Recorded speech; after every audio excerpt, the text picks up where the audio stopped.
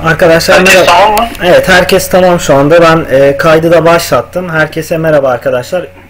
Tercih dönemindeki sorulara cevap olması amacıyla bir e, bilgilendirme videosu hazırlıyoruz şimdi. Toplamda 7 tane konuşmacımız var. Konuşmacılarımız e, birazdan kendilerini tanıtırlar. Şu anda e, LYS sonrasında üniversite tercih e, sürecinde akıllarda kalan bazı sorulara cevap vermek amacıyla bu bilgilendirme videosunu oluşturduk. Şimdi herkese sırayla söz verelim. İlk önce e, kimle başlayalım? Önce bayanlarla başlayalım. Gamze Hoca ile başlayalım. Hocam e, önce kısaca Evet. kendinizi tanıtıp ondan sonra neden sizin şu anda çalıştığınız bölümü arkadaşlar tercih etmeli? Tabii ismim Gamze. Ee, Eskişehir Osman Gazi Üniversitesi Bilgisayar Öğretim Teknoloji Öğretmenliği mezunuyum. Kısaca BÖTE. Ee, Bunun dışında e, 2014 yılında mezun oldum. Birkaç yıldır ücretli öğretmenlik yapıyorum meslek lisesinde. Kayseri'de yaşıyorum. Ee, Bilgisayar bölümünü tercih ederken tamamıyla ilk başlarda bilinçsiz olarak ama e, meslek lisesi mezunu olduğum için bilgisayar öğretmenliği tercih etmek durumunda kaldım. İlgim de vardı tabii ki.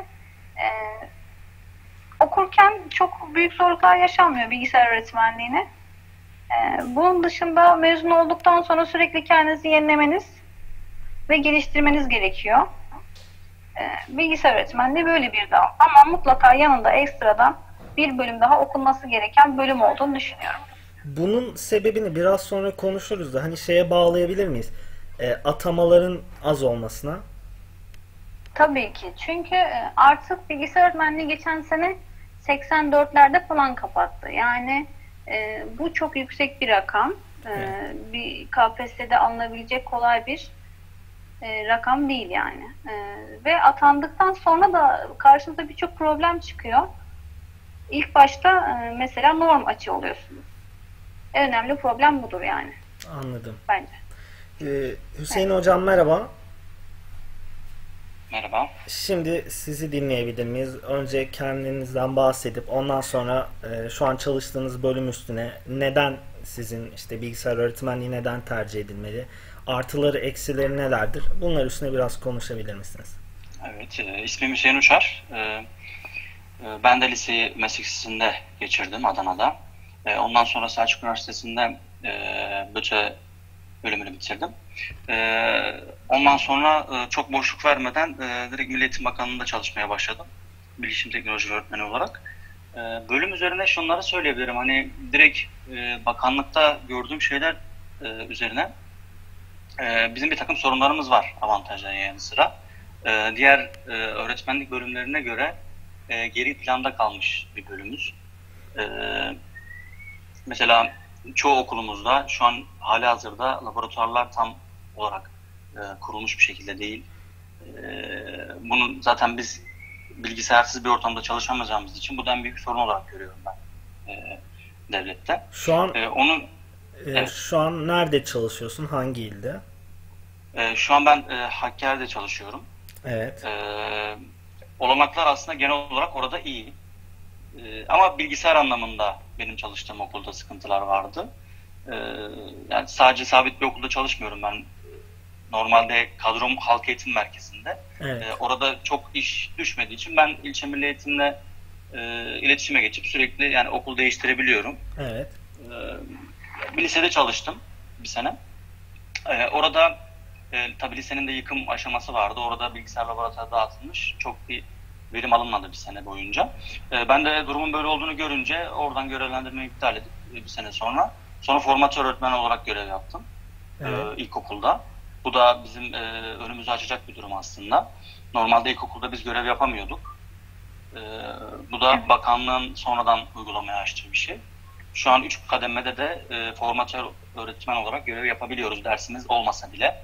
Evet. E, bu seneyi de ben ilkokulda geçirdim formatör e, olarak, formatör öğretmen olarak. E, gelecek sene de e, bir ortaokulda çalışmayı düşünüyorum ki zaten bizim gerçek yerimiz e, BÖTÖ mezunu olarak ortaokul. 5. ve 6. sınıflarda zorunlu derslerimiz var. E, genel olarak iş sahamızı burada bulmamız gerekiyor. Evet. Ee, onun onun dışında e, bölümümün avantajları ve dezavantajları dediğimde e, dezavantajlarından bahsettim. Bilgisayarlarla ilgili sıkıntılar var. Ee, bakanlık genel olarak göz ardı ediyor bizim bölümü. Ee, bir kendi nasıl diyeyim şöyle bakanlığın mesela her tarafa aç, e, harcaması vardır.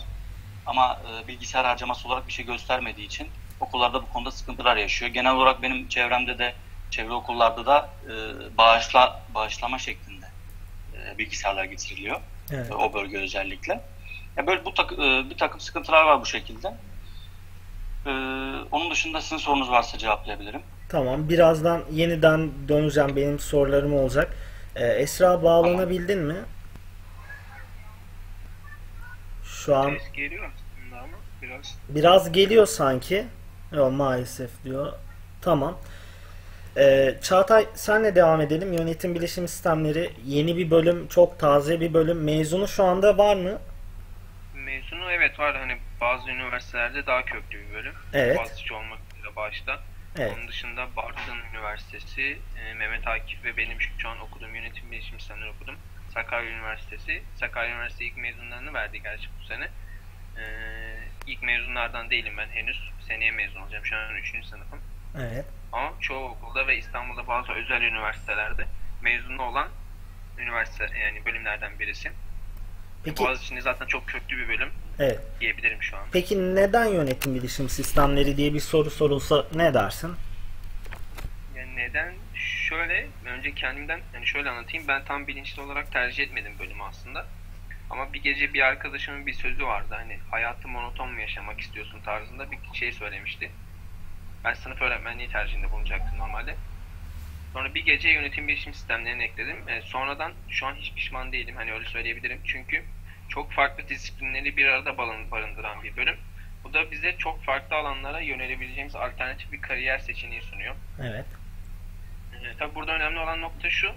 Ee, şöyle bir dezavantajımız var. Ee, henüz devlette doğrudan bir atanımız yok yani. Bizim bölüm tam olarak devlette tanınmıyor. Aslında o genel Böyle olarak e, var. hepsinde var. Yani mühendisliklerde Evet. de böyle hani şeyde yani en olması gereken yer. Öğretmenliklerde bile mesela e, biraz önce Gamze Hoca da dile getirdi 84'lerle kapatmış. Yani e, Hüseyin mesela e, sizin jenerasyonda kaçlardaydı atama puanları? Ee, Benim atandığım zaman e, 85'lerde 86'larda kapattı. Ha, işte böyle olduğu zaman şimdi bilgisayar öğretmenlerinin alternatiflerini oluşturmak zorunda. Mesela ben daha önce staj yaptığım bir firmada e, İstanbul Teknopark'ta yaptığım e, staj yaptığım bir firmada bir bilgisayar öğretmeni çalışıyordu. Atanamadığı için özel sektöre gelmiş. E, hani ilk başlarda biraz yadırgıyor. Ben devlette olmalıydım e, bakış açısı var. Ama daha sonra alışınca ve kendi geliştirmeye başlayınca çok da şey yapmamaya başlamış. Böyle e, hem kabullenmiş hem de e, adaptasyon sürecine uyum sağlamış yani. İşte şu an bilgisayar öğretmenlerinin dezavantajı o. Atamaların az olması. Hani mesela bunu ilk başlık olarak söyleyebilirim tercih yapacaklara.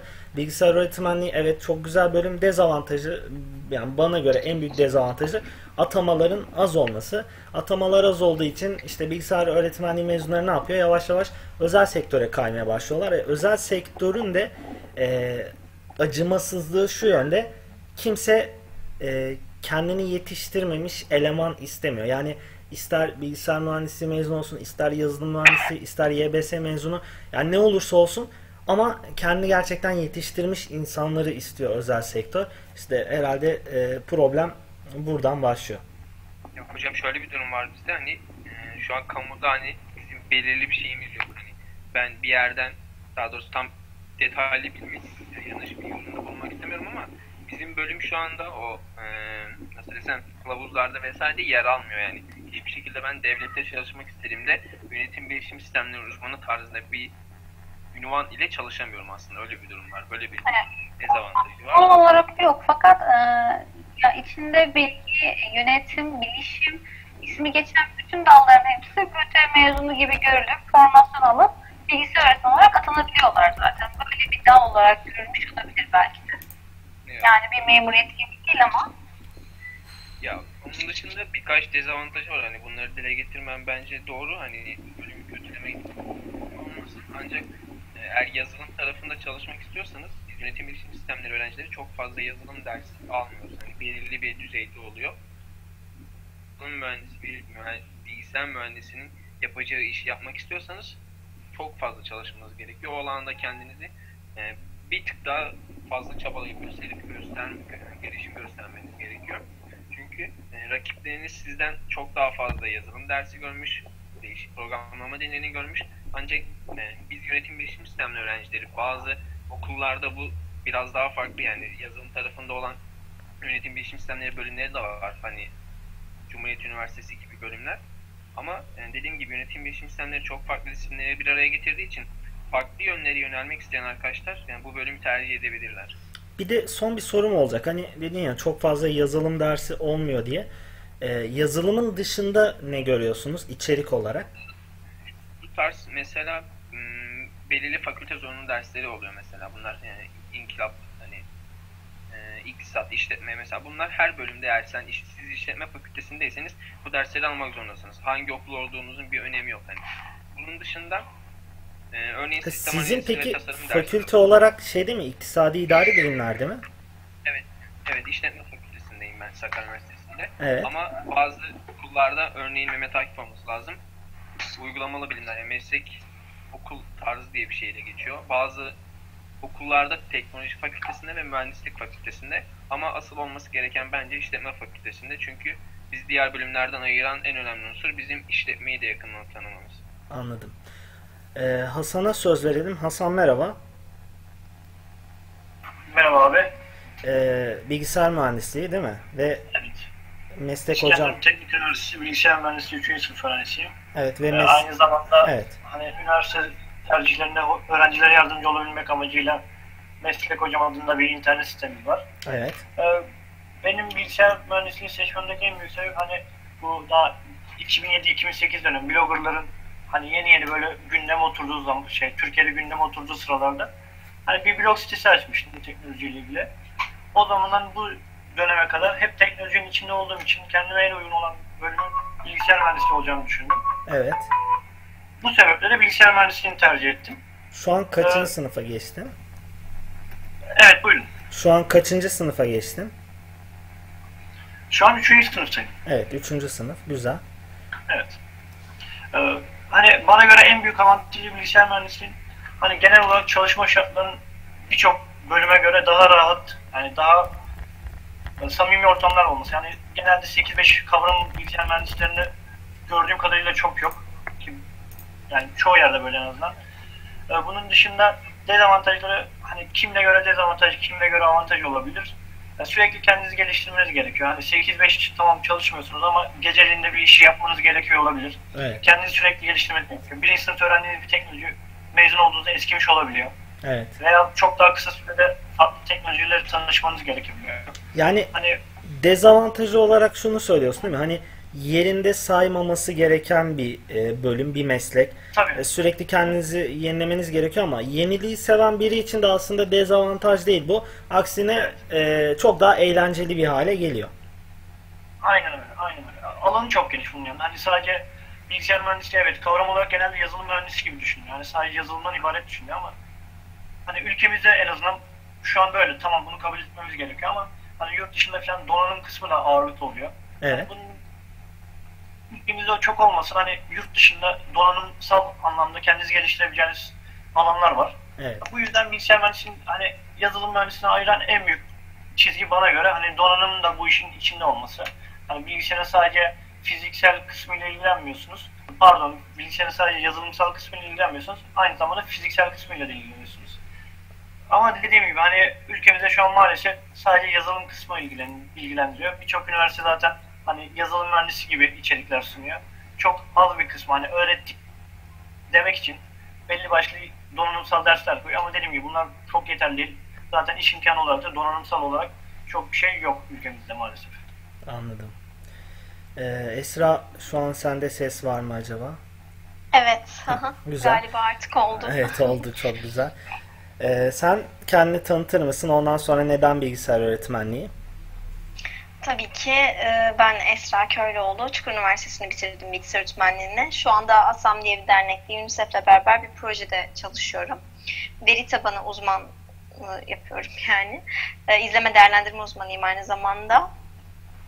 Ee, neden bilgisayar öğretmenliği? Çünkü ben meslek lisesi çıkışlıyım. Öğretmenliği çok seviyordum. Aslında meslek lisesine giriş amacım da bilgisayar öğretmeni olmaktı. Evet. Üniversiteye girdiğimizde bizim alış puanlarımız falan bayağı bir yüksekti. Hı hı. Ee, ilk 80 binde falan oluyordu bilgisayar öğretmenliği. Bayağı bir zorlanmıştım. 2 yıl önce mezun oldum yani öyle düşün. 6 yıl önce üniversiteye gitmiştim. Ve e, bitirdiğinizde ataması çok kolay oluyordu. Tabii 4 yıl sonra ben üniversiteyi bitirdiğimde işler çok değişiyordu. Evet. Ee, sonrasında şöyle bir şey diyebilirim size. Ben arkadaşların hepsine katılıyorum. Fakat bilgisayar alanında veya teknoloji alanında hangi meslekten mezun olduysanız veya hangi departmandan kesinlikle kendinizi geliştirmeniz gerekiyor zaten.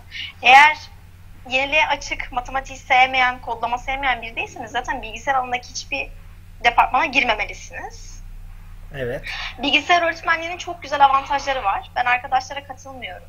Bilgisayar öğretmeni okuduğunuzda hem psikolojik alanda kendinizi geliştirebiliyorsunuz eğitim alanında. Eğitim teknolojileri bölümlerine yönelebiliyorsunuz. Hem de bilgisayarı iyi bildiğiniz için çoğu insandan daha donanımlı oluyorsunuz.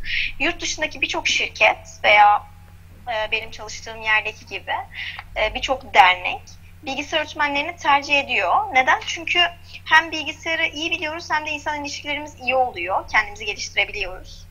Sadece kendimizi biraz fazla geliştirmemiz gerekiyor. Evet. Veya bir öğretmen olarak alındığında mesela bakın okullara falan. Genellikle bilgisayar öğretmeni or- ortalığı toparlıyor diyebilirim size. Sunumları düzeltiyor, e, bilgisayarda insanlara yardımcı oluyor, çocukların zihinsel gelişimlerini nasıl tamamlamaları gerektiğini biliyor. Çünkü gördüğümüz eğitim dersleri diğer öğretmenlere göre daha komplike. E, eğitim teknolojilerini daha iyi biliyoruz onlara oranla. Çok güzel bir şekilde dizayn edebiliyoruz. Peki şunun şunun dezavantajı var. Mesela bilgisayar öğretmenliği bitirdin. Hani biz sunumun başında e, konuştuğumuz şey buydu. Bilgisayar öğretmenliği bitirdin ve şu anda özel sektörde çalışıyorsun. Hani e, içinde bir ukde var mı öğretmenlik yapamamanın ya da özel sektörün avantajı ya da dezavantajı ne? Mesela bilgisayar mühendisi ya da yazılım mühendisi ya da işte YBS okuyan birisi e, böyle bir beklentiye çok girmez. Hani e, devlet onun için hep ikinci, üçüncü plandadır. Çünkü olmayacağının da farkındadır. Yani e, mesela 2 3 3 sene önce sanırım yazılım mühendisliği bölümünden bilgisayarla beraber bilgisayarla beraber olan kontenjanda tercih yapılıyordu. Sadece 15 kişi alındı ve e, başvuru yapan kişi sayısı 7000 civarındaydı. Yani devlette alımlar inanılmaz düşük. E, bu, bununla ilgili ne söylemek istersin? Öncelikle ben açık olayım. Bir kadın olarak bilgisayar öğretmenliğini yatış olarak görüyordum. Yani öğleden sonra boşum. Harika bir şey bu. Evet. Ee, öğretmenlik bu açıdan gerçekten güzel. Ki her zaman tasarım yapmayı falan severim. Web tasarımı falan. Öğleden sonra gelip tasarım yaparım ya da çocuklarımla ilgilenirim falan diye düşünüyordum. Oysa özel sektörde böyle bir şey yok. Kesinlikle akşama kadar çalışmanız gerekiyor. Benim çalıştığım derneğin koşulları gerçekten çok iyi. Birçok özel sektöre göre 9-5,5 arası çalışıyoruz. Fakat daha kötü koşullarda çalışan arkadaşlarım var. Ya da mesela e, diğer okullarda çalışan, teknik okullarda çalışan falan arkadaşlarım var. Evet. Özel sektörün en büyük problemi yarın kapıda olabileceğiniz. Devlette böyle bir şey yok en azından şu an için bilmiyorum. Fakat devleti istememe sebebim benim KPSS puanım çok yüksekti. Diğer bütün öğretmenlerde olduğu gibi 6 yıl boyunca doğuda kalma e, probleminden dolayı istemedim. Evet. e, özel sektör kendinizi sürekli geliştirmeniz gerekiyor. Yani devlette biraz daha kolay oluyor sanırım işler. Her gün Word öğretiyor diğer arkadaşlarım.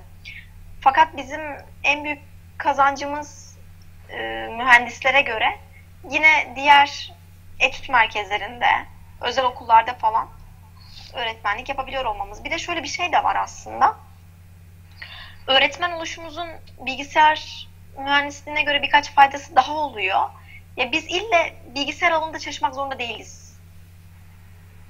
Ee, Nasıl anlatabilirim bilmiyorum. Mesela çalışabileceğimiz çok fazla alan var. Bankaya girebiliyoruz, şuna girebiliyoruz, buna girebiliyoruz. Sadece biraz kendimizi geliştirmemiz yeterli oluyor. Mesela web sitesi biz de yapabiliyoruz. Ben de birçok yıl tasarım firmalarında çalıştım. İstersek web sitesi yapabiliyoruz, istersek yazılım yapabiliyoruz, istersek öğretmenlik yapabiliyoruz. Bu açıdan bilgisayar öğretmenliği daha iyi bence. Anladım. Ee, delil bağlandın mı acaba? Ses var mı? Bir bakar mısın? Şu an sesin gelmiyor. Mikrofonun kapalı gözüküyor. O zaman şu an geliyor. Evet şu an geliyor. Şimdi sen de e, mezun oldun değil mi sen? Efendim? Mezun oldun şu anda değil mi? Evet hocam bu yıl mezun oldum. Ee, şimdi sen de e, mesela Hasan bir öğrenci gözüyle baktı bilgisayar mühendisliğine. Şu an öğrenciliği devam ediyor. Sen de bir mezun olarak, mezun bir bilgisayar mühendisliği öğrencisi olarak, şu an bir bilgisayar mühendisi olarak e, neler söylemek istersin? Ve şu anda tercih yapacak arkadaşlara e, bilgisayar mühendisliğini neden tercih, e, neden önerirsin ya da önerir misin? Artıları eksileri sence neler? Senin de görüşlerini alalım. Ee, ya benim gördüğüm açıkçası yani çevremden olsun şeyden olsun. Şöyle bir durum var e, daha çok. E, yazılım mühendisliği ile bilgisayar mühendisliği arasında şu anda Türkiye'de pek bir fark yok. E, hani biz e, bu arada Namık Kemal'de okudum ben Tekirdağ'da. Hani Yıldız Teknik İstanbul, Boğaziçi buralar nasıldır? O konu hakkında pek bir fikrim yok. Orada okuyan arkadaşlarım da yok. Ee, okulda hocalarımıza sorduğumuzda aradaki farkı da sorduk. Ee, yardımcı doçentler, doçentlere sorduğumuz zaman şöyle bir şey dendi bize. Türkiye'de ikisi arasında pek bir fark yok. Çünkü donanıma ait dersler sadece teoride, kal- e, teoride kalıyor. Pratikte hiçbir şekilde uygulama yok. Ee, sadece slide üzerinden donanım üzerinden e, donanım dersleri yürüyor. O yüzden yani yazılım mühendisliğiyle ben bilgisayar mühendisliği arasında pek bir fark görmüyorum. Çünkü bilgisayar mühendisi olduğunuz okuduğunuz zaman da yazılım yazılım yapıyorsunuz. Yani donanıma ait e, pek bir şey çalışma imkanınız da yok açıkçası Türkiye'de. Evet. Ha, onun dışında e, İngilizcenin çok iyi olması gerekiyor. Her şeyden önemlisi. Evet. E, çok önemli. E, şu an şu an yeni mezunum. 3-5 yere başvurdum. İngilizcem benim e, çok az var. O yüzden ya en basitinden yazılım ofisleri bile İngilizce şartı koyuyorlar. Basit bir yazılım ofisi dediğiniz e, yetiştirilmek üzere eleman al- alan yer bile şu anda en basitinden İngilizce şartı koyuyor. Bu, bu İngilizcenin öğrencilik süresince mutlaka halledilmesi lazım. Güzel. Bunu- Ben öyle düşünüyorum en azından. Çünkü Evet. çıkınca çok büyük sıkıntılara yol açabiliyor bazen. Onun dışında eee, çok fazla geliştirilmesi lazım. İnsanın kendisini çok fazla geliştirmesi lazım. Çünkü okul dersleri yeterli olmuyor. Ben şu anda eee 4 bir senede uzattım. 5 senede toplam 120 saat uygulamalı eğitim almışım. Geçen gün hesapladım. Eee şeye gitmeyi düşünüyorum. Eee İşkur destekli bilgi adamın eğitim programı var. Evet. Ona gitmeyi düşünüyorum şu an. Orada 5 ayda 800 saat uygulamalı eğitim verecek. Evet. Şimdi ve orada sadece Microsoft teknolojileri üzerine ders verecek. İşte .NET, .NET işte C Sharp, MVC, e, SQL bilgisi, JavaScript, CSS, Bootstrap, HTML. Bu tarz. Ama ben okulda bunların hepsini üstüne PHP, Java'da gördüm. Ve arada yaklaşık bir 700 saatlik ders farkı var. 700 saat daha fazla bir ders alacağım. Sadece şey göreceğim ama okulda 120 saatte hem Java'yı hem PHP'yi hem şeyi gördüm. Tabi buna kadar okul yeterli olur. Açık açık gösteriyor sana. Anladım. Ee, Eşref'e de bir söz verelim son olarak. Ondan sonra yeniden döneceğim bu başlığa. Eşref söz sende. Merhaba arkadaşlar. Ben işte adım Güçlü. Ee, Murat'la Fırat Üniversitesi'nden sınıf arkadaşıyız. Yazılım mühendisliği mezunuyum. Şu an Denizli'de özel bir şirkette web geliştirici olarak çalışıyorum. Ruby on Rails üzerine. Ee, neden yazılım mühendisliği diye soracak olursak ben meslek lisesi öğrencisiydim. Meslek lisesinde okuduğum dönemde e, me- öğretmen arkadaşlarımın da bileceği gibi meslek lisesi çıkışlı öğretmen arkadaşlarımın da bileceği gibi önceden sadece teknik eğitim fakülteleri vardı. Ve teknik yani eğitim fakültelerinde de bilgisayar öğretmenliği vardı ki hiçbir zaman hayalim değildi. Teknik eğitim fakülteleri bilgisayar mühendisliğinden mezun olan öğrenciler e, liselerde, liselerde, meslek liselerinde bilgisayar öğretmeni oluyordu. Maksimum hayalim buydu. Çünkü daha ötesini yapabilecek bir durum yok meslek lisesinde okurken. Ee, sonrasında teknik eğitim fakülteleri kapatılıp yerine teknoloji fakülteleri açıldı. Bu da e, meslek lisesi öğrencilerine mühendis olma imkanı sağladı. Ki Bence çok güzel bir şey.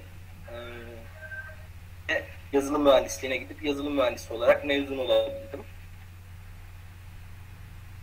Başka ne söyleyebilirim?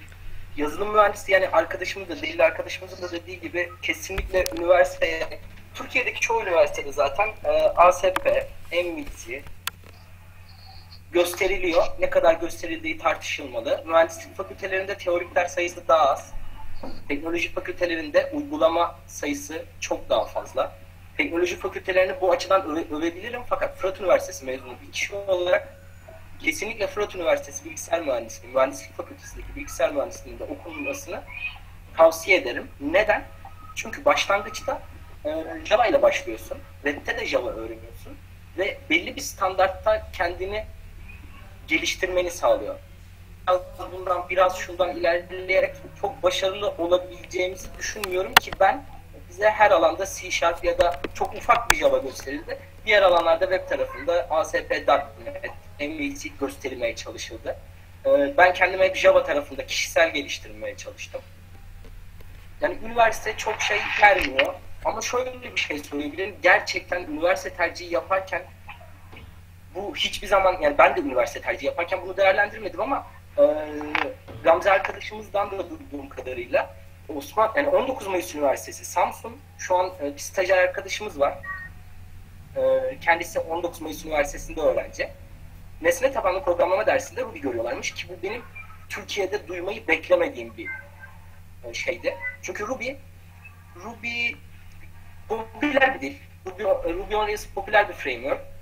Ama Türkiye'de çok kullanılıyor mu? Kullanılıyor aslında fakat bilinirliği az. Neden? Türkiye'de e, Delil arkadaşımızın da dediği gibi e, Microsoft destekli e, bilgi adam kursları var. E, çünkü üniversitelerde mühendisliklere, bötelere veriliyor mu bilmiyorum. Dream Spark veriliyor. Bu şekilde C Sharp'a yönelmeniz isteniyor. Türkiye'de sektör daha çok C Sharp üzerine, ASP üzerine, MVC üzerine hani sırf o sektör, Microsoft teknolojilerinden ilerleniyor. Ki bana doğru geliyor mu? Tartışılır. Yani ben doğru bulmuyorum ama tartışıl tartışılabilir bir konu. Yani 19 Mayıs Üniversitesi'nde arkadaşım yani stajyer arkadaşımın söylediği şu. Bir hocaya soru sormaya gittiğinizde hoca sizin önce GitHub hesabınıza bakıyor ve sorunuzu cevaplıyor. Siz kendiniz bir, birkaç proje geliştirdiniz mi? Neler yaptınız? Ki benim duyduğumda gerçekten çok mutlu olduğum bir konuydu. Yani, üniversite tercihi yaparken aslında bölümün eğitimini araştırmak o kadar önemli ki. Hani o üniversitenin o bölümünün eğitimini araştırmak. Ki ben bunu yapmadım. Yapmadığıma pişmanım kesinlikle. Yoksa yapsaydım büyük ihtimal Fırat Üniversitesi bilgisayar mühendisliğini seçerdim. Ee, bunu hep göz ardı ediyoruz. Benim için çok önemli bir konuydu. Hani önemli bir konu olduğunu düşünüyorum. Diğer arkadaşlar ne der bilmiyorum. Bu şekilde. Güzel. Ee, son olarak ben de bir iki şey söyleyeceğim. Zaten Eşref özet geçti epey. Hatta gayet detaylı bir şekilde anlattı. Ee, Eşref'le sınıf arkadaşıydım. Yazılım mühendisliği mezunuyum Fırat Üniversitesi. Bilgisayar mühendisliğinden ayıran şey şuydu. E, bizde biraz daha fazla yazılım içeriği vardı. Bilgisayar mühendisliğinde biraz biraz daha fazla donanım var. Artıları eksileri hani ikisinde çok tartışılacak bir konu. Ee, şeyi soracağım Eşref son bir soru sana. Bilgisayar mühendisi mi yazılım mühendisi mi genel olarak mesela e, tüm Türkiye'de düşünürsen sadece Elazığ olarak bakma.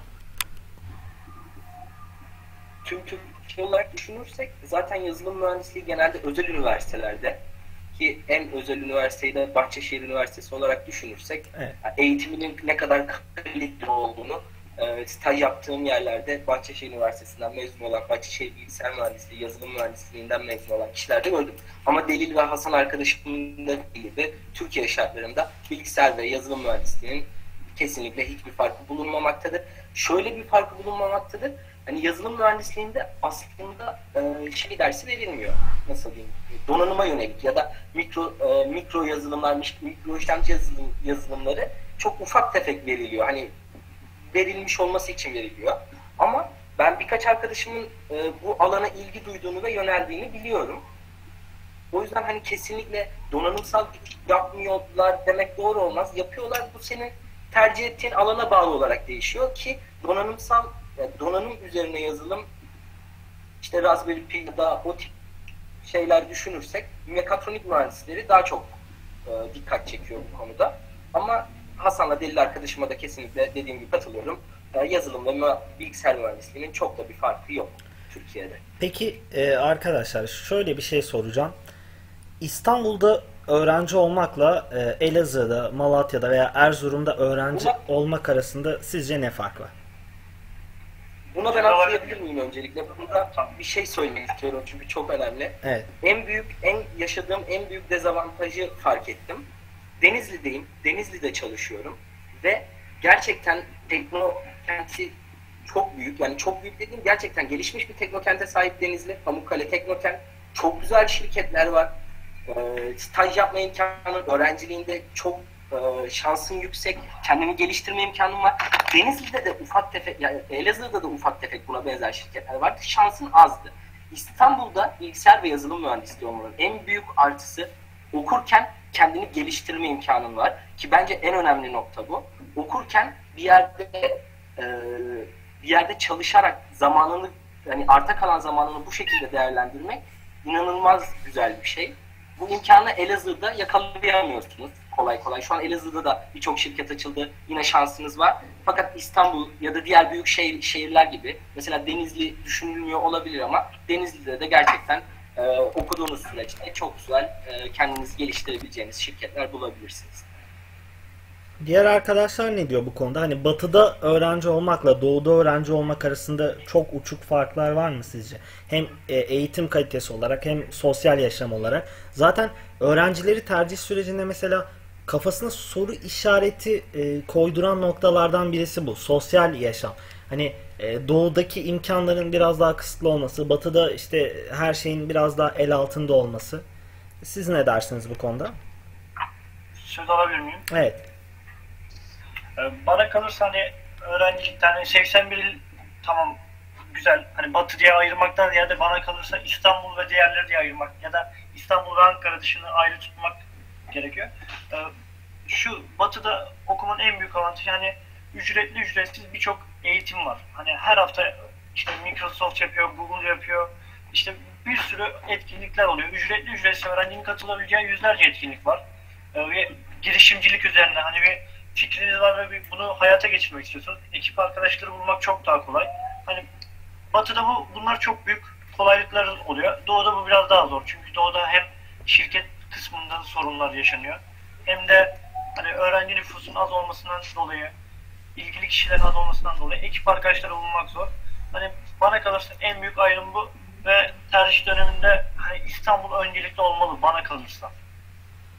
Diğer arkadaşlar ne diyor?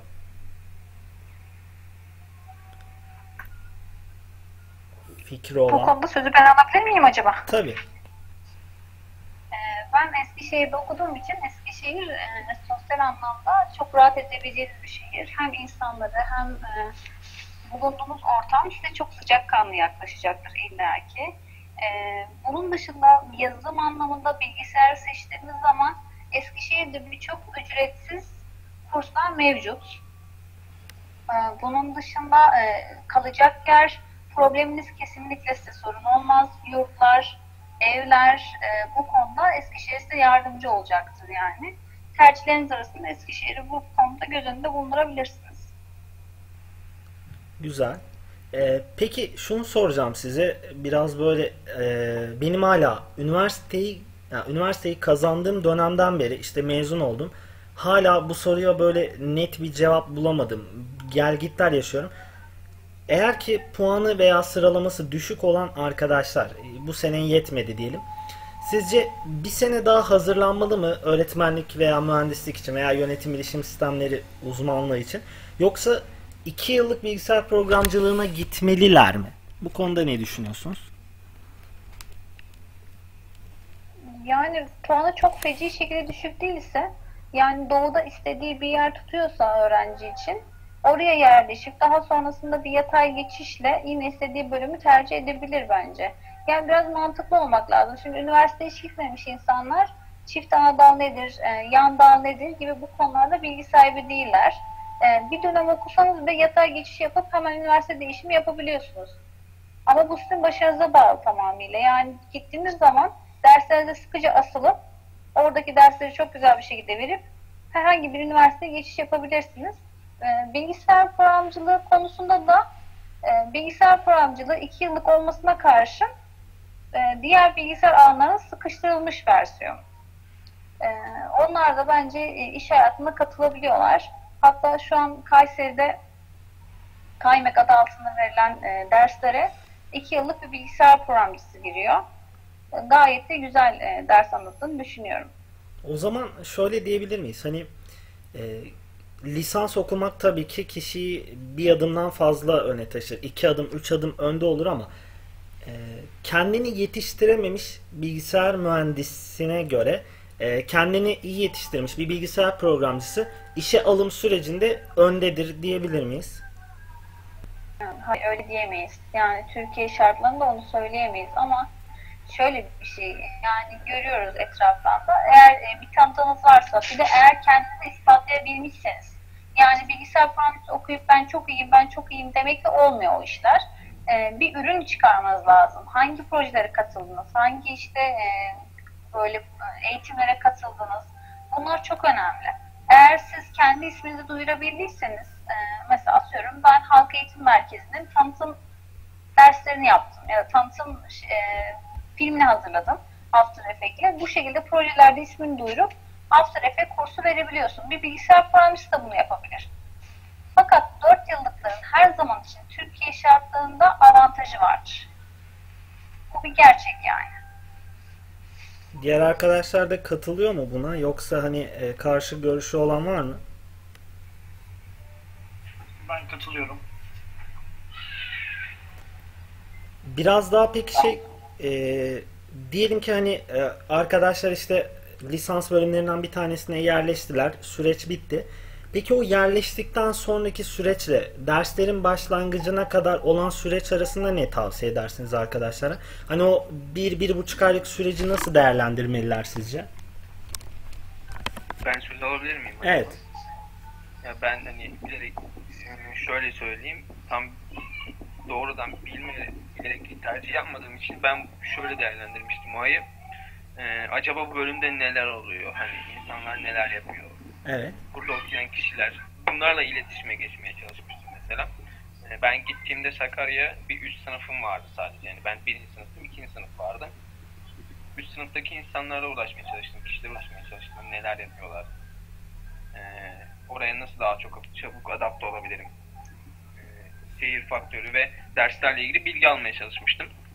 Bence bu süre zarfında yapacakları e, bölümü daha yakından tanımaları gerekiyor. Hani kazandıkları bölümü daha detaylıca tanımaları gerekiyor. Ardından orada okuyan kişilere ulaşarak hani yönlendirici de olabilir bir süre sonra. Hani bir bakmışsınız aynı ekipte yer alabileceğiniz insanlar da olabilir bunlar. Daha fazla araştırıp öğrenmeleri gerekiyor. Bence tercih döneminden önce yani bir araştırma yapılıyor ama tercih döneminden sonrası da bence çok önemli. Çünkü bir nevi artık sizin üniversite hayatınızı şekillendireceğiniz bir adım atılmış oluyor o saatten sonra. Anladım. Ee, başka var mı? Söylemek istediğiniz bir şey. Mesela ben bugün gönderileri paylaştığım zaman genel olarak gelen sorular hep bu şekildeydi. Ee, aşağı yukarı işte bölümler neden bu bölüm, neden bu bölüm tercih edilmeli ya da neden tercih edilmemeli. İşte iki yıllık bilgisayar programcılığı bölümlerine gidilmeli mi yoksa bir sene daha sınavlara hazırlanmalı mı? Ee, şey konusuna şu an değinmek istemiyorum açıkçası. Bununla ilgili bu ekip güzel bir ekip oldu. Ee, yeni bir zaman daha ayarlayıp mesela Eylül ayında teknolojiler üzerine konuşabileceğimiz bir sohbet daha şu an aklıma geldi. İşte e, mesela üniversitelerin hazırlık ya da birinci sınıfındaki arkadaşlara hangi alanlara yönelmeliler? İşte mesela neden Java, neden C Sharp, neden ASP ya da neden PHP gibi bir şeyler var aklımda. Bu tercih süreciyle ilgili başka söylemek istediğiniz bir şey var mı? Özellikle belirtmek istediğiniz. Öncelikle Ruby, Ruby on Rails'ı es geçmeyelim diyorum. Ben gerçekten çok güzel iş imkanları var. Ve çok e, yurt dışı düşünen arkadaşlar varsa kesinlikle Ruby on Rails'ı düşünün derim. Ve ben bir soruyu cevap veremedim. Ona cevap vermek istiyorum. Ben bir yıl geç kazanan bir insanım. Tekrar hazırlandım. E, lise, e, meslek lisesi çıkışlıyım. Anadolu Meslek Lisesi'nde çıkışlı olduğum için son 3 sene şey, son sene 3 gün staj, 2 gün okuldan biriktirdiğim parayla kazanamayınca tekrar hazırlanma kararı aldım ve hayalindeki bölümü kazandım. Murat'ın dediği tercih dönemindeyse ben tekrarlıyorum. Gerçekten eğer puanınız e, birçok yeri tercih etmenizi sağlıyorsa tercih edeceğiniz üniversitenin tercih edeceğiniz bölümü eğitimini araştırmanız bence çok önemli. Çok çok önemli. Bu sizi daha da güzel bir üniversite ve güzel bir bölüm seçmenizi sağlayacak. Bu şekilde düşünüyorum. Murat, ben de bir şeyler söylemek istiyorum da konuyla Evet. ilgili. Bence kesinlikle beklesinler. Eğer e, sevmedikleri bir bölüm geliyorsa veya istemedikleri bir üniversite, çünkü bu hayatı etkileyen bir şey. Eğer sevmedikleri bir bölüm okuyacaklar, düşünsenize hayatınız boyunca o işi yapacaksınız. E, yani iki yıllıkları da kesinlikle katılmıyorum. Çünkü genellikle kazanamıyorlar dikey geçişi. Hadi dikey geçiş yaptılar, dört yıla geçtiler falan diyelim. Çoğunlukla kazanılmıyor. Ee, bir yıl daha harcanması gerekiyor bence. Bir yıl daha harcayıp istenilen bölüm çok daha sağlıklı olacaktır. Anladım. Peki Tamam. evet. Ben bir şeyler, bir şeyler söyleyeceğim bu konu Evet. hakkında. Ee, Esra'ya katılıyorum çünkü şöyle bir durum var. Ben sürekli iki yıllık bilgisayar programcılığı okuduktan sonra işe, işe giriliyor. Fakat e, hep bir e, kod yazma üzerine bakılıyor bunlara. Yani ülkemizde şey durumu var. Bir süre sonra hani sadece bunu 2-3 yıllık değil 8-10 yıllık sürece olursak e, proje yöneticisi, e, proje sorumlusu, takım lideri gibi şeyleri genellikle bilgisayar mühendisliğinden seçiyorlar. Ve çok e, hatta bizim sınıfa DGS ile gelen e, kişiler vardı. E, büyük insanlar vardı 35-40 yaşlarında. E, bizim yardımcı doçentin bitiremediği projeyi bitirip ama yönetici olamayan insanlar vardı. E, bu yüzden adamların şeyi hani proje yöneticisi olmak için bilgisayar mühendisliği diploması istiyorlar. Yani bu diploma zorunlu oluyor bir süre sonra.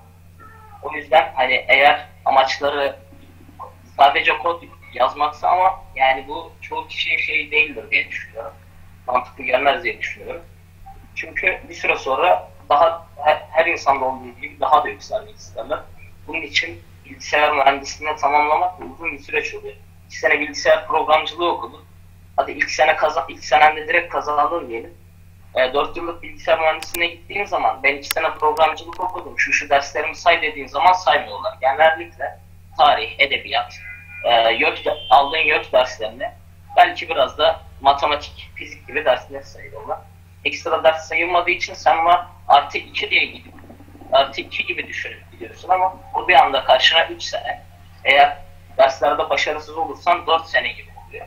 Bu insana ekstradan zaman kaybı oluyor. Eğer stresi, bu sıkıntıyı çekmektense bir sene daha hazırlanıp mühendislik seçebilirler diye düşünüyorum. Ya, Türkiye şartlarında zaten en büyük problemlerden birisi e, mü- mühendislik mezunlarının tam olarak mühendislik yapmamaları. Genelde onlardan beklenilen şey de developer yani geliştirici olmaları. Ya o kişilerden de salt kod yazmaları bekleniyor ama aslında öyle değil. Yazılım proje dokümantasyon süreci diye bir kavram var. Ee, bunu ya bu kavramı şu an izleyen arkadaşlardan ricam bu kavramı bir araştırmanız. Hani yazılım proje dokümantasyon süreci nedir? Yani yazılım proje süreci nedir? Bu süreç nasıl oluşturulur? Ee, bu noktada devreye hem YBS'ciler giriyor hem mühendisler giriyor. Ya salt kod yazmak çok şey değil. İşte o zaman senin söylediğin değil. Bilgisayar Arkadaşlar merhaba. İkinci kısımla devam ediyoruz. Şimdi e, şunla başlayalım hemen. Metok kontenjanlarıyla başlayalım. E, metok kontenjanı nedir? Onunla ilgili kısa bir bilgi vereyim. Ondan sonra tercih edilmeli mi, edilmemeli mi? Bunlar üzerine de konuşalım. Metok mesleki teknik ortaöğretim kurumları olarak geçiyor. Sadece meslek lisesi mezunlarının kendi bölümlerine e, kendi bölümlerini tercih etmeleri için ayrılan kontenjanlardan oluşuyor metok kontenjanları. Ee, yazılım mühendisliği için mesela sadece bilgisayar bölümü, meslek lisesindeki bilgisayar bölümü öğrencilerinin tercih edebildiği veya elektrik elektronik mühendisliği için sadece meslek lisesindeki elektrik elektronik bölümü öğrencilerin tercih edebildiği kontenjanlardan oluşuyor. Ee, çok bir dezavantajı yok. Bir yıl hazırlık okuyorsunuz. Hazırlıkta İngilizce de var şu anda ama İngilizcenin yanında ekstra olarak fizik, kimya ve matematik gibi temel kültür derslerini de alıyorsunuz. Ee, büyük bir dezavantaj olarak görmeyin. Hazırlık seneniz çok e, rahat geçiyor. Bu süreçte kendinizi bir teknolojiye verip o teknolojide geliştirme sağlayabilirsiniz. Eşref bununla ilgili söyleyeceğim bir şey var mı Metok'la ilgili? Dediğin gibi Murat zaten hani ben meslek lisesi, ben Anadolu meslekten çıkmış bir öğrenci olarak e, gerçekten matik gibi alanlarım yoktu. Gerçekten yoktu. Bu konularda e, üniversite bile başlamadan önce size bir temel oluşturuyor. Kötü değil. iyi de değil. Bir yıl garip gibi görünebilir ama İngilizce de yanındaysa bizim girdiğimiz sene, kazandığımız sene İngilizce yoktu. İngilizce de koymaları çok oldu bizde. Yani metotların tercih edilebilir olduğunu düşünüyorum ki şöyle yanlış anlaşılmasın. Sadece meslek liseleri tercih etmiyor. Meslek liseli öğrenciler tercih ettiğinde metot kontenjanına girdikleri zaman hazırlık okumak zorunda kalıyorlar. Ama meslek lisesinden mezun olup normal metokta yazabilirsiniz. Hazırlık okumadan birinci sınıftan başlıyorsunuz bu şekilde. Ee, ya da Anadolu Lisesi'nden mezun olan öğrenciler de yazabiliyor metok. Yani teknoloji fakültesindeki mühendislikleri. Bu şekilde. Ben söz alabilir miyim? Evet. Ee, ben de aslında şey meslek lisesi mezunuyum ama makinede okudum ben. Hani bilgisayarla pek alakası yok. Ee, metok şöyle bir şey var metodda örnek veriyorum. Makine makine bölümünü okudunuz. Üniversitede sadece makine mühendisliğinde metok kullanmıyorsunuz. Aynı zamanda e, tercih zamanında bir kılavuz yayınlanıyor bu kılavuzda metokla ilgili belli bölümlerin belli bölümlere geçiş hakkı var. Örnek vermek gerekirse bir makine bölümünden makine mühendisliğine gidebiliyorsunuz. Bunun yanında mekatronik mühendisliği, otomotiv mühendisliğine de gidebiliyorsunuz. Bu bildiklerim tabi her bölümün bunun var. Mesela bilgisayar mühendisliği, bilgisayar yazılım okuyanları da aynı şekilde üniversite sadece yazılım mühendisi veya bilgisayar mühendisi değil. Yine belli alanlara yönelebiliyor. Yani anlatmak istediğim sadece makine okuyan makine mühendisliğinde değil. Aynı zamanda makineyle kesişen mühendisliklere de gidebiliyor. Anladım. Bunun dışında Evet. Metok okuyanların daha öncesinde hani bu 3-4 yıl öncesinde imza yetkileri yoktu. Hani tabii bu bilgisayar mühendisliğinde çok hani düşündürücü bir olay değil ama makine mühendisliği, endüstri mühendisliği gibi bölümlerde imza yetkisi biraz önemli. Ee, ama bu 2 yıl önce, 3 yıl önce bu imza yetkisi de geldi. Hani o yönden dediğiniz gibi eksi bir yönü yok. Tek eksi yönün hazırlık ki hazırlıkta da şöyle bir durum var. Bir sınava giriyorsunuz gittiğiniz üniversitede. Eğer belli bir puanı geçerseniz hazırlık isteğe bağlı oluyor. Yani okumadan da direkt geçiş yapabiliyorsunuz. Bu zorunluluk da kalktı. Onu sağlayan Eşref Asaf Hoca sanırım çok peşine düşmüştü o olayın. Ve e, sürekli YÖK'le falan da o yazışıyor diye hatırlıyorum. Yan, yanılıyorsam düzelt. Bu şey imza yetkisi olayıyla ilgili. o imza yetkisi olayı zaten arkadaşlar dediği gibi hani son sonradan ortadan kalktı. Herkesin yani bütün metok okuyanların imza yetkisi bulunmakta. Ama eee, tam olarak soruyu anlamadım sanırım Murat. Yok o süreçte hani ben şeyi hatırlıyorum. Asaf Hoca çok peşine düşmüştü bu olayın. Hani kesinlikle öyle bir şey yok. Yani e, ilk başta biraz şeydi bilgisayar Ön mühendisliği yargılı geliyordu öğrenciler. Aynen, aynen. Kesinlikle demek istediğini anladım Aynen. şimdi. hani meslek lisesi mezunu e, mühendis olamaz tarzında şeyler vardı ama onlar da çözüldü.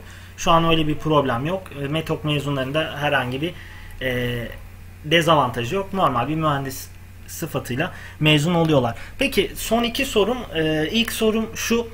Mezun olduktan sonra diyelim ki yerleştiniz bilgisayar mühendisliği, bilgisayar öğretmenliği, e, yönetim bilişim sistemleri ya da yazılım mühendisi. Bölüm bitti. Bittikten sonra sadece geliştirici mi olabiliyor mezun olan kişiler? Ekstra ne yapabiliyorlar? Yani geliştiriciden kastım sadece kod mu yazıyorlar yoksa kod yazmanın dışında farklı alanlara da yönelebilirler mi? Tasarım gibi işte frontend dediğimiz olay gibi veya e, test mühendisi, iş analisti gibi bunlara da yönele, yönelebilirler mi? E, bu konuda kod yazmanın dışında çalışan arkadaşlara önceliği bir verebilir miyiz? Aslında ben bilgisayar öğretmenliği okudum. Hani bana herhangi bir web tasarımı dersi falan verilmedi. Sadece bir Photoshop dersimiz falan vardı. Veya veri tabanı dersi o şekilde net olarak yoktu. Ama ben veri tabanı alanında çalıştım ve e, İstanbul'da da web tasarımcılığı yaptım belli bir dönem. Yani kesinlikle öyle bir olay yok. Siz kendinizi geliştirdiğiniz her alanda çalışabiliyorsunuz. Kısıtlamaya falan gitmeye kesinlikle gerek yok diye düşünüyorum. Güzel. Başka e, söylemek isteyen? Eğer bilgisayara ilginiz varsa e, mesela ben şu an tasarım alanında çalışıyorum. E, tasarım anlamında kendinizi geliştirirseniz de ilerleyebilirsiniz. Yani bilgisayar öğretmeni olacağım, e, illa KPSS'ye çalışayım diye bir kaydı yok. E, yani diğer videoda söylediğimiz gibi insan kendini geliştirdiği her alanda başarılı olabilir. Yani o zaman Bilgisayarda ben böyle düşünüyorum. Ee, benim aklıma gelen şunlar eks- eksik varsa siz de tamamlayın. Mesela bitiren kişi neler yapabilir? Veri tabanı uzmanı olabilir. Veri tabanı yönetim sistemi uzmanı olabilir. Sonra e, proje dokümantasyonunda projeleri sadece proje hazırlayan kişiler var. Ana, e, özellikle analistlikleri ön plana çıkarak çalışıyor. Ondan sonra e, yazılım test mühendislikleri yapabilirler. E, başka developer olabilirler, kod geliştirebilirler. Sonra başka Raporlamacı olabilirler. Aynen raporlama yapabilirler. Çok güzel. Ee, zaten ulaşabilecekleri en üst nokta muhtemelen proje yöneticiliğidir. Proje yöneticisi olabilirler. Bir ekibin proje yöneticisi olarak çalışabilirler. Yani onlar da kendi alanlarında ayrılıyor. Ee, bir de son olarak İngilizce ile ilgili ne söylemek istersiniz? Diyelim kazandı arkadaşlar. Lisans bölümüne yerleştiler. İngilizce ile ilgili ne söylemek istersiniz? Ee, İngilizce gerçekten önemli mi? çok önemli. Artık her alanda İngilizce çok önemli. Mesela benim için bütün raporlarımı İngilizce yazmak zorundayım veya veri tabanımı İngilizce kullanmak zorundayım. Ee, bilgisayarla ilgili herhangi bir kaynak çoğunlukla İngilizce oluyor. Ee, hayatınızın her evresinde artık ne okuduğunuzun da bir önemi yok. Teknolojik alanda tabii ki çok daha ön plana çıkıyor ama İngilizce kendinizi geliştirmeniz gerekiyor. Üniversitede okurken yan olarak hani bence hazırlık çok güzel bir şey. Neden herkes geçmeye çalışıyor anlamıyorum. Üniversiteden mezun olduktan sonra hazırlık gibi bir imkanınız hayatınız boyunca olmayacak. Hiçbir şekilde bu kadar yoğun olarak hazırlık dersleri görmeyeceksiniz. Kesinlikle hazırlık edilmesi gereken bir yer. Hem üniversite tanıma hem kendinizi eğlendirme falan gibi yerleri etkileştirme falan da yapabiliyorsunuz hazırlıktayken. Okunması gerekiyor bence. Ve İngilizce üniversitede bitirilmesi gereken bir şey. Hocam ben de ufak bir şey söylemek istiyorum. Evet. Ben yazılım okum e, hazırlık okumadığıma çok pişman olan birisiyim. E, Hem buradan da bir bilgi vermiş olayım hani ben bilmiyordum böyle bir şey olduğunu. Sakarya Üniversitesi'nde hazırlık okuduktan sonra herhangi Erasmus sınavına girmeden doğrudan siz hazırlığı geçtiyseniz yani 70 olması lazım geçişi. Okumadığım, için bilmiyorum da Erasmus'a doğrudan sınavsız bir giriş hakkınız oluyor yani direkt tercih yapma hakkınız oluyor diye biliyorum ki kendi bölümümüzden de birçok arkadaşımız bu fırsatı değerlendirdi. Hani Sakarya Üniversitesi'ne gidecek arkadaşlar bunu araştırsınlar. Ee, ben okumadığım için çok pişmanım açıkçası hazırlık okumadığımı. Bunu bilmiyordum. Hani bunu bilsem kesinlikle okurdum. Öyle bir bilgi vermiş olayım en azından sınavsız çünkü sınav biraz zor oluyor. O yüzden girenlerin çok fazla gidemediği bir sınav olduğundan hazırlık okuyanlar çok şanslı bu konuda. Güzel. O zaman hazırlığı da hazırlık okuyacak arkadaşlar da bunu kesinlikle dezavantaj olarak görmesinler. Peki şöyle e, noktalayacağım. Son olarak herkese sırasıyla sırayla söz verelim. E, herkes kendi üniversitesi hakkında bir iki şey söylesin. Ondan sonra sohbeti tamamlayalım. Şöyle sırayla başlayalım. Çağatay senle başlayalım. E, Sakarya Üniversitesi Yönetim Bilişim Sistemleri. Sakarya Üniversitesi hani ben ım, doğrusu kampüs bu kadar güzel beklemiyordum. Kampüs hani tercih edecek arkadaşlar eğer fırsatları da varsa gidip mutlaka görsünler. Çok güzel bir kampüsümüz var. Şehir olarak ne beklediğinize bağlı ama şöyle bir durum var. İstanbul'a yakın olduğumuz için gerçekten büyük bir avantaj bence. Aynı zamanda sanayisi gelişen bir şehir. Yani buradan direkt staj ayarlama fırsatınız olabiliyor. Teknokenti de mevcut olduğu için e, orada gidip çalışabilir. Çeşitli etkinliklere katılabilirsiniz. E, Sakarya Üniversitesi e, Avrupa'da mükemmellik ödülü olan tek tek Avrupa mükemmellik ödülü olan tek üniversite şu an Türkiye'de. E, ben üniversiteyi kesinlikle tavsiye ederim. Şehir olarak derseniz ki ben e, biraz daha İzmir tarafı vesaire kıyı şeridindeki illerde okumak istiyorum. Biraz zorlanabilirsiniz ama yine de tavsiye ederim yani Sakarya Üniversitesi. Güzel. Teşekkürler. Hüseyin e, Selçuk Üniversitesi ismi değiştirmişti galiba. Evet, e, ben girdikten yaklaşık bir sene sonra ismi değişti. Evet. E, Necmettin Erbakan Üniversitesi oldu. Evet. E, zaten fiziksel olarak da üniversite, Selçuk Üniversitesi'nin bayağı bir uzak eğitim fakültesi. E, hani şöyle söyleyebilirim, kampüs havası yok kesinlikle. E, sadece hani kendi e, buna şöyle söyleyeyim, öğretmenlik alanından arkadaşlarınız olabilir. E, diğer e, kampüs e, olan taraf bayağı bir uzak şehrin diğer tarafında. E, onun dışında bölüm olarak e, bizim bölüm gayet rahattı. E, rahat olmasının yanında şöyle bir durum da vardı. Bunu hocalardan kaynaklanıyordu. E, şu anki durumunu pek bilemiyorum üniversitenin, şey, bizim bölümün özellikle. E, ama o dönemki hocaların komple gittiğini biliyorum yani. E, ama genel olarak e, bizim bölümlerde e, Türkiye'de bence sayılı üniversiteler vardır. Aş, yani güzel eğitim veren. E, ben bunu e, Konya'daki üniversite olarak görmüyorum. E, onun dışında daha iyi araştırılabilip hani 9 Eylül'dür hani İzmir'de, İstanbul'da ve Ankara'da daha iyi eğitim veren, BÖTE anlamında eğitim veren okullardan tercih yapılabilir diye düşünüyorum ama yine de puanımız e, nereye yettiğine bağlı bununla ilgili şeyler. Hani gidilebilir öyle söyleyeyim. Anladım. Teşekkürler. Hasan İskenderun'du değil mi? Evet, İskenderun Teknik Üniversitesi. Ee, İskenderun Teknik Üniversitesi aslında sanırım 2015'te resmi olarak açıldı Mustafa Kemal Üniversitesi'nden Mühendislik Fakültesi ayrıldı. İskenderun'da bilmeyenler için söyleyeyim. Hatay'ın ilçesi. Ee, yaklaşık 250 bin civarında bir nüfusu var. Küçük bir ilçe. Hani özellikle büyük şehirlerden işte ben Bursa'dan gittim. Yani ilk gittiğimde ciddi anlamda bir kültür şok oluyor yani tabiri caizse.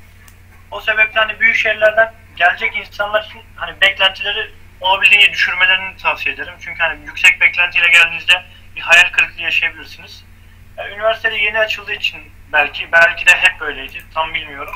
Eğitim kalitesi olarak özellikle bilgisayar mühendisliği diğer tüm mühendisliklere göre biraz daha alt seviyede. Ortam olarak da çok böyle hani ekip ruhu taşıyan insanların bulunmadığı bir üniversite. Hani benim tavsiyem gelmemeniz yönünde ama dediğim gibi hani biraz da diğer mühendisliklerle ilgili araştırma yapabilirsiniz. Onlar hakkında pek bir şey söyleyemem ama bilgisayar mühendislik kesinlikle imkan olarak ve eğitim olarak hani diğer üniversitelerle pek kıyaslama yapmasam da iyi olmadığını söyleyebilirim. Şimdi Eşref de yorum yapacak. Bakalım videoyu ben yükleyeceğim. Başıma nasıl dertler alacağım işte bu üniversiteye gelmeyin falan diye sosyal platformda şey yapan kişi olarak e, insanları böyle olumsuz yönlendiren. Hocam siz Gamze hocam siz e, ta- Evet, tavsiye ediyor musunuz? Ben e, duyamadım, sesinizi almadım bir an. E, Eskişehir için e, şehir olarak süper bir şehirdir. İnsanları sıcakkanlıdır. Sokaklarında köpekler gezer Eskişehir'in. E, bunun dışında üniversite kampüsü şahane gerçekten. Eskişehir Osman Gazi Üniversitesi'nin kampüsü ağaçlarla kaplı güzel bir mekanı var. E, üniversitenin içerisinde de oturabileceğiniz, arkadaşlarınız sohbet edebileceğiniz birçok alan var. E, eğitim anlamında e, birçok iyi öğretmen mevcut. Fakat e, benim yerleştiğim dönemde ben 441 gibi bir puanla yerleşmiştim. Şu an için daha düşük seviyelerde puanları olduğunu biliyorum. E, bilgisayar öğretmenliğinin yanı sıra kendinizi geliştirmeniz gereken bir alana gitmeniz gerekiyor. Yani e, eğitim fakültesinde bilgisayar öğretmenliğinin yanı sıra bir çift anadal yapabiliyorsanız mutlaka yapmanız gereken bir alan. E, Eskişehir insanların sosyal ortamının çok bulunduğu, insanların eğlence ortamının fazlaca olduğu güzel, kendinizi geliştirebileceğiniz bir şehir. Öyle söyleyebilirim. Çok teşekkürler. E, Eşref Elazığ. Elazığ. Evet. Ee, kesinlikle Manisa'da yaşayıp büyümüş bir insan olarak Elazığ e, kültür şoku. Tamamen kültür şoku. Ee, aslında tam olarak şu cümleyi kurabilirim. Diğer hani, büyük şehirde okumamış bir insan olarak. Şöyle derler üniversitede. Arkadaş çevren iyiyse yaşarsın.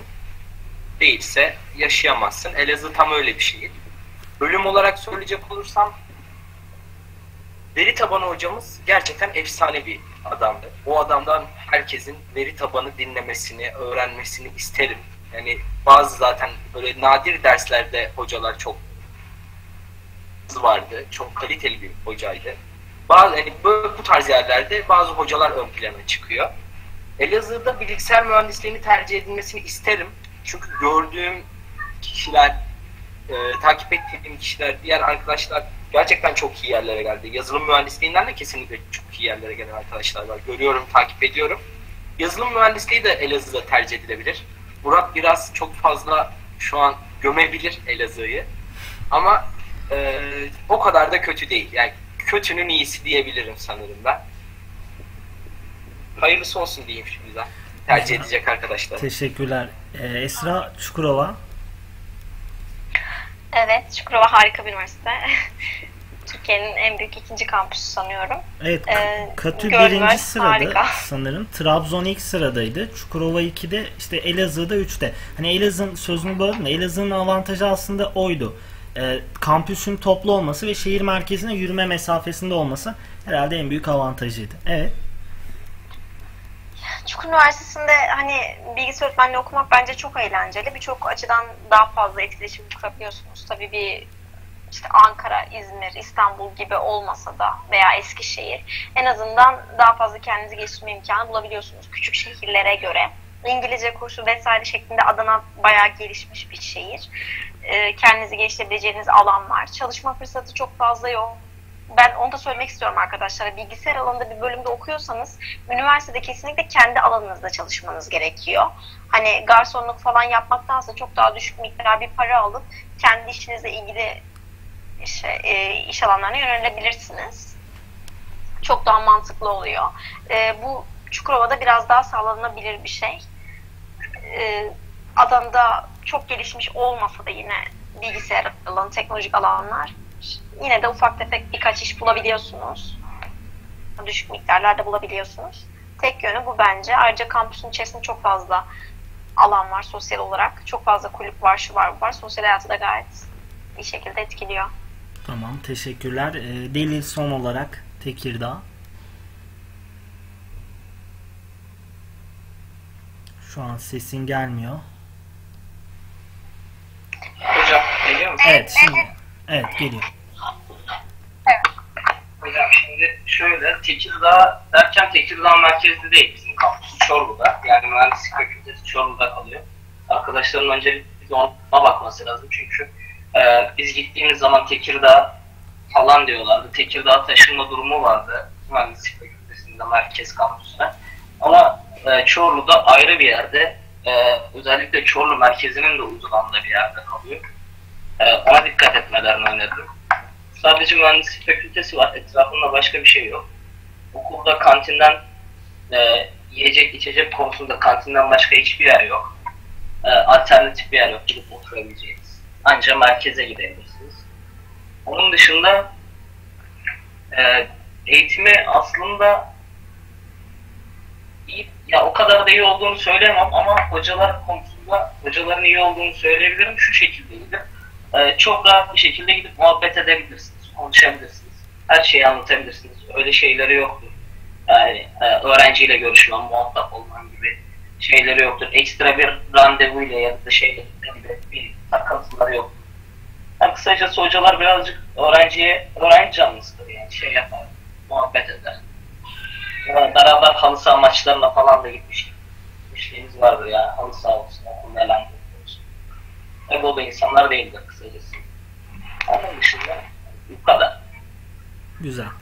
Ee, her- Ben birkaç ufak bir şey daha ekleyebilir miyim Evet, acaba tabii ki. Eskişehir adına? Ee, Eskişehir Ankara'ya çok yakın ve şu an hızlı tren var olduğu için e, bir buçuk saatte Ankara'ya erişim sağlayabiliyorsunuz. Bu anlamda biz e, Ankara'daki birçok eğitim e, seminerlerine vesairede katılabiliyorduk. E, bunun dışında Eskişehir şehir anlamında çok güzel bir mekandır. Saz Ovası ara- araştırılmalı mutlaka. Şehrin ortasından yalancı e, Viyana dediğimiz işte Venedik dediğimiz affedersiniz. Ortadan bir Porsuk Nehri geçer ve çevresinde e, öğrenci grupları oturup birlikte etkileşim içerisinde şarkılar, türküler söylerler. E, Eskişehir bu anlamda sosyal anlamda çok çok rahat edeceğiniz, mutlu olacağınız, yurt anlamında hiç kaygı çekmeden yerleşebileceğiniz bir yer. Bunu da eklemek isterim yani. Tamam, çok teşekkür ederim. Ee, Hocam son olarak bir şey söyleyebilirim. Evet, Ee, şey, iki ya da yanılmıyorsam 3 sene önce bir teknokent de çıkmış oluyor. Üniversitenin hemen dibinde. evet. Ee, oradan öğrencileri çok rahat staja, e, işe falan da kabul edebiliyorlar. Oradaki bilgisayar mühendislik öğrencilerini. Yani çok rahat hocaların tavsiyesiyle olsun, kişisel başvurularla olsun. Çok rahat orada e, staj veya şeyli olarak e, mezun arkadaşların başlaması olarak çok rahat bir şekilde alabiliyorlar. Bu anlamda da İstanbul'a yakın olması da zaten çok büyük bir avantaj. Hatta Çorlu'dan İstanbul'a ayrıca servis var. 1 saat 15 dakika sürüyor. Anladım. De bu kadar söyleyeyim. Çok teşekkür ederim. Hepinize çok sağ olun. Ee, bence pek çok soruya cevap oldu bu söyledikleriniz. Şimdi tercih süreci bitsin. E, bence güzel bir konuşma oldu. Bu ekiple yeni bir sohbet Eylül ayında inşallah yeni bir sohbet daha düşünüyorum. Hani o zaman da teknolojiler üzerine konuşacağımız bir sohbet olur. Yazılım dilleri üzerine konuşacağımız bir sohbet olur. E, tercih yapacak olan ya da yapmış olan bütün arkadaşlara da hayırlı olmasını diliyorum. E, İnşallah her şey istediğiniz gibi gönlünüzce olur. Herkes emeğinin karşılığını alması temennisiyle. İyi çalışmalar diliyorum. Hoşçakalın. Murat